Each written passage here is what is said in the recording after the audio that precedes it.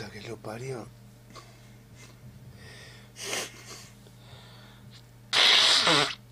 Qué sexy. La concha de la lora.